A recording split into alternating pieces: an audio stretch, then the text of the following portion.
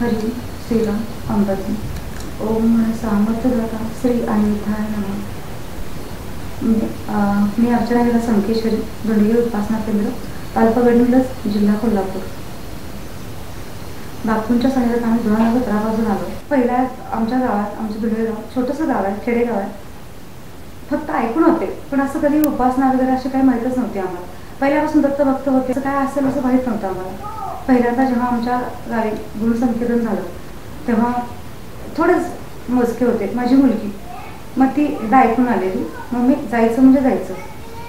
हो चल बघूया तरी म्हटलं काय आहे. पण जेव्हा पहिल्यांदाच मी केंद्रात गेले तेव्हाच वाटलं की आता इथून पुढं हे काहीतरी आहे आपल्यासाठी आहे.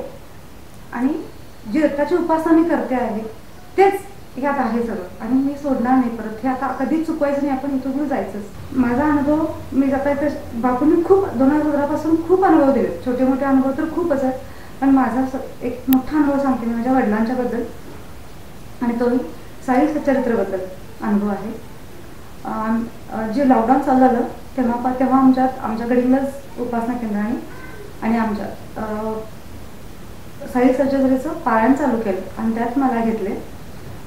चालू केलं मग बावन्न जणांत आम्ही होतो. मग रोज दर गुरुवारी प्रत्येकाला जो अध्याय यायचा ते वाचून संध्याकाळ आठच्या आत पोस्ट करायचे असा तो नियम होता. करून मग ते चा सर्व व्यवस्थित रेग्युलर चालू झालं लास्ट लास्टला ज्या- एक आमच्यातले बापू भक्त जे ह्या साई सर्जन जो वाचायला होते ते अचानकच त्यांचं काहीतरी प्रॉब्लेम आल्यामुळं लास्ट लास्टला त्यांचे त्यांचे जे अध्याय असायचे ते मला यायला लागले वाचायला. मी वाचते म्हणून सांगितलं वाचायला चालू केलं. झालं. मग एकदा असंच पप्पां पप्पांचं असं पप्पांना ॲडमिट केलं म्हणून निरोप आला बुधवार होता. मग दुसऱ्या दिवशी गुरुवार वाचायचं. हे वाचन वगैरे म्हटलं. मग माझे मिस्टर पण डॉक्टर आहेत. त्यांनी म्हटले की आवर सकाळी लवकर. आपल्याला पप्पांना बघायला जायचं आहे मग मला काय वाटलं असतील ॲडमिट केलं असेल रेग्युलर चेकअप असेल असंच वाटलेलं मला. बरं चालते म्हटलं. मग तीन त्या दिवशी तीन अध्याय आले ते वाचायला मला मग घरी दोन अध्याय वाचले मी.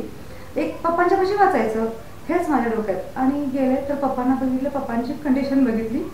माझ्या पायाखाली जमीनच होती कारण मला अजिबात सांगितलं होतं पप्पा सिरियस आहेत नाही तर काय काही काही कल्पना नव्हती. त्यांना बोलताही येत नव्हतं पप्पांना आमच्या. मी टेन्शन घेते म्हणून मला सांगितलंच नव्हतं पण पप्पा इतके सिरियस आहेत म्हणून. दिवसभर त्यांच्या कशात बसून राहिले. जेवण घेऊन गेले ते करून त्यांना. काहीही खाल्लं नव्हते पप्पा तीन दिवस. त्या दिवशी मात्र मी भाजी भाकरी घेऊन घेऊन गेले. तो एकच घास खाल्ला फक्त त्यांना खाताही येत नव्हतं. तरी पण मी करून घेऊन कारण माझ्या खूप प्रेम तरी दिवस थांबले काय ते खा- हे नंतर लक्षात आलं की माझा एक अध्याय राहिला वाचायचा. ग्रुप अपूर्ण राहणे म्हणून मी त्या दिवशी संध्याकाळी पाचला बरोबर अध्याय वाचायला घेतला. अं, त्या ह्याच्यातच टेन्शनमध्ये होते मी. तरी आपल्यामुळं ग्रुप अपूर्ण नको म्हणून त्या दिवशी मी वाच मग पप्पांच्या रूममध्येच बसले मी हॉस्पिटलच्या आणि वाचायला घेतलं. माझं मी पप्पांना हे व्हायला नको म्हणून डिस्टर्ब व्हायला नको म्हणून माझं मी हळू वाचत होते. तर मग पप्पा बघितले माझ्याकडे आणि इशाराने सांगितले की जे वाचायलास ते मोठ्याने वाच असं हविशाराने सांगितलं. मला थोडं कळालं म्हणून मोठ्याने वाचायला लागले. त्या एक तासामध्ये कोणी डॉक्टर ना कोणी पेशंट कोणी म्हणजे नातेवाईक कोणीही आत नाही फक्त मी आणि पप्पा दोघेच रूममध्ये आणि तो अध्याय वाचला मी. अध्याय वाचले पूर्ण प- हे झालं. पण जे काय वाचत होते मला काहीही कळत नव्हतं. पण पप्पांच्या डोळ्यातून मात्र घळाघळा पाणी येत होतं. पण मला काही कळालं नाही. त्यावेळेस मी वाचले एवढंच. वाचून फक्त पूर्ण केलं. झालं. त्या वार गुरुवार. मग सगळ्यांना माझ्या ह्यानं कलिगनं सगळ्यांना कळालेलं की माझे पप्पा आजार आहेत. मग सगळ्यांचे फोन यायला लागले. आणि जे माझे बापू भक्त आहेत माझे वहिनी सुजाता मधकरी त्या संध्याकाळी आठ वाजता फोन केला बरोबर मला. आणि वहिनी स्वस्तिक्षेमा आहे आता. आता चालू होतं एक पाच मिनटात तुम्ही परदेशी अटेंड व्हा. तेव्हा सुद्धा पप्पांच्या रूममध्ये होते मी. आणि तेव्हाही कोणी आलं नाही रूममध्ये मी आणि पप्पा तेवढंच. पाच मिनटं स्वस्तिक्षेम होतं. स्वस्तिक्षेम चा- मी चालू केलं स्वस्तिक्षेमच चालू झालं बापूंना अंबदने म्हटलं आणि सांगितलं बापू आत्तापर्यंत पप्पाने खूप सहन केलं. इथून पुढे त्यांना त्रास द्यायचा नाही. असं त्यांना त्यांना तुम्हीच तारायचं तुम्हीच काय करायचं तुम्हीच बघा म्हणून सांगितलं. आणि पप मोबाईलचा फोटो पप्पांना दाखवला. पप्पानेही फक्त नुसताच लांबून हात जोडला पप्पाने त्यांना आणि सांगितलं हेच माझे बाबा आणि ह्यांना तुम्ही काय बघायचं करायचं बघा कारण आजपर्यंत त्याने खूप सोसलं. इथून पुढे त्यांना सोसायची ताकद पण नाही आणि त्यांना आता इथून पुढे त्रास द्यायचा नाही. म्हणून एवढंच बोलले मी. आणि प्रत्यक्षात सगळे डॉक्टर आले. डॉक्टर आल्यामुळे मी बाहेर आले. आणि दहा मिनिटांनी पप्पांची बीपी हाय झाली.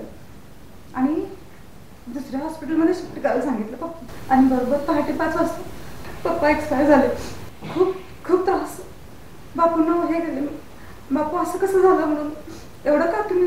एवढं सगळं सांगून असं का केलं तुम्ही? माझ्या पप्पांना काय चुकलेलं? असं काय झालं? नंतर मग आणि वाट वाटलं की जे होतं जे जे योग्य आहे तोच बापू करणार. हे मनाला पूर्ण पडत होतं पण बुद्धीला पटत नव्हतं ते. असं का झालं?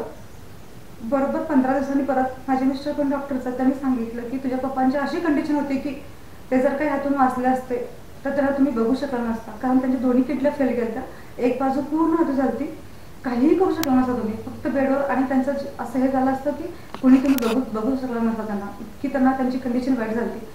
असं चुकून पेशंट शंभरात ना एक पेशंट होते की न त्रास होता त्यांचा. त्यामुळे तुमच्या पप्पांचं खूप चांगलं झालं. पण मनाला पडतच नाही ना ते. असं कसं काय? नंतर बरं एक महिन्याने बरोबर महिन्याने तोच अध्याय परत वाचायला आला मला. साईचरित्रातला दुसरा दुसरा ग्रुप तयार झाला आणि बरोबर तोच अध्याय साईचरित्रातला चव चौ त्रेचाळीसावा अध्याय. आणि त्या अध्यायामध्ये असं होतं संत सज्जनांचा जेव्हा अंतिम समय होतो तेव्हा ते राम रसायन राम रक्षा हे वाचून घेतात. आणि हे मी पप्पांच्याकडे वाचत होते पप्पा रडत होते पण मला कळलं नाही त्यावेळेस. मी काय वाचलं? आणि बापू तू माझ्याकडनं काय करून घेतलास? माझ्या बाबाला तू संत सज्जनांच्या नेऊन बसवलंस. बापू अंबदने कोटी कोटी अंबदने आणि हे माझ्याकडनं करून घेतलं असतो हे तेव्हा मला कळालं. बरोबर महिन्याने. पण ते महिनाभर मी रडत होते. पण म्हणूनच असं वाटलं की जे होतं ते योग्य होतं आणि तो आपल्याकडनं सगळं करून घेतो. हरिओम श्रीराम अंबानी.